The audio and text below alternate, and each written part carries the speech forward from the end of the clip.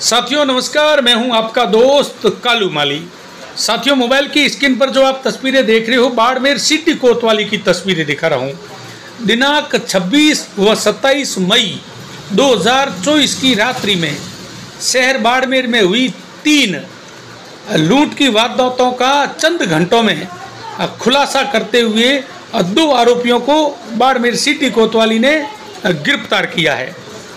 बाड़मेर के पुलिस अधीक्षक नरेंद्र सिंह मीणा ने प्रेस नोट जारी कर जानकारी देते हुए बताया कि दिनांक 26 व 27 मई 2024 को रात्रि बाड़मेर शहर में अज्ञात व्यक्तियों द्वारा शहर बाड़मेर के अलग अलग अल सुबह बीएनसी चौराया व स्टेशन रोड पर रास्ते चलते राहगीरों से लूट की वारदात करने का मामला कोतवाली थाने में दर्ज हुआ था।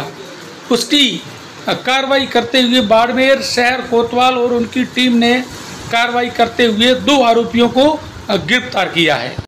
प्रेस नोट में जानकारी देते हुए बताया कि आरोपी सूरज कुमार, पुत्र पोखराराम जाति प्रजापत और रोहित पुत्र किशनलाल जाति वाल्मीक।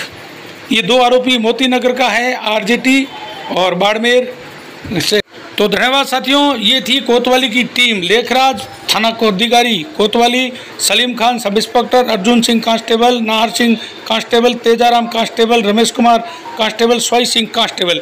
ये टीम थी जिन्होंने कार्रवाई करते हुए इन्हें गिरफ़्तार किया है। जय हिंद, जय भारत माता।